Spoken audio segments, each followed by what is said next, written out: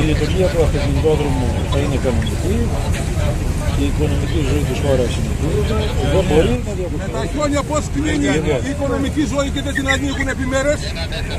Τότε είναι οι ιδιωτικές εταιρείες δηλαδή και τα συμφέροντα των ιδιωτών. Ενώ τώρα είναι ο λαός εδώ. Εσείς τι προστατεύετε τώρα; Ακριβώς. Λοιπόν, για να εμείς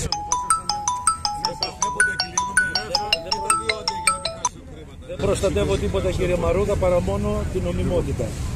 Ποια είναι η νομιμότητα τώρα; Εμείς, εμείς αποφασίσαμε Για για μας μας, νομιμότητα. για μας νομιμότητα είναι το δικαιό μας. Λοιπόν, αποφασίσαμε μέσα από τι σκέψεις αγροτών στους αγροτικούς συλλόγους και τις ομοσπονδίες της Θεσσαλίας να πάνε πάνω στην ΠΑΘΕ γιατί τα προβλήματα που έχουμε αφορά, αφορούν την επιβίωσή μας. Αφορούν το να μείνει η ύπεθρο ζωντανή και να μείνουμε στα χωριά μας. Γι' αυτό βγήκαμε στον δρόμο. Δεν είμαστε, δεν μας βλέπει να φοράμε τίποτα. Φοράμε κάτι, φοράμε κάτι, είμαστε εγκληματίες. Όχι, άρα βγήκαμε εδώ για τη ζωή μας και για το μέλλον των παιδιών μας. Γι' αυτό βγήκαμε. Αυτό Κύριε που, Τζέλα, αυτό κύριε που Τζέλα, πρέπει Κύριε Τζέλα, να σεβαστείτε τον αγώνα των Τζέλα, δικών μας, είναι ένα- να αποσύρετε σας παρακαλώ πάρα πολύ, Κύριε Τζέλα, να είναι- αποσύρετε τις είναι- δυνάμεις. Δεν γίνεται αυτό.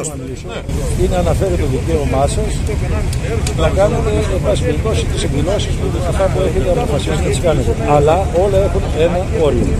Και επαναλαμβάνω, η νομιμότητα Η νομιμότητα για ποιον. Για ποιον νομιμότητα.